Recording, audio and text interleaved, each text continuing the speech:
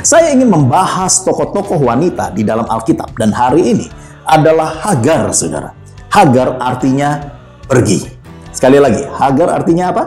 Hmm, sekali lagi, Hagar artinya yes. Pesan Tuhan sederhana, saudara. Jangan pergi dari hadirat Tuhan. Di dalam Galatia 4:25, Hagar ialah gunung Sinai di tanah Arab dan ia sama dengan Yerusalem yang sekarang karena ia hidup dalam perhambaan dengan anak-anaknya. Ketika kita mengenal Hagar, saudara, ini adalah lambang dari mengikuti keinginan daging, saudara. Ketika dia bersiteru dengan Sarah, dia akhirnya pergi, walaupun Sarah juga yang mengusir. Tetapi dia pergi dan meninggalkan dan dia hidup bahkan hampir mati di padang gurun, saudara.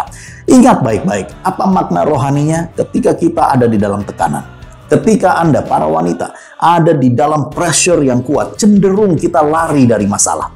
Cenderung Anda emosional dan Anda tidak mau ada di bawah tekanan dan cari jalan pintasnya. Tapi ingat, jangan pergi dari hadirat Tuhan. Justru cari hadirat Tuhan di dalam hadirat Tuhan, Tuhan akan menolong bagaimana menyelesaikannya.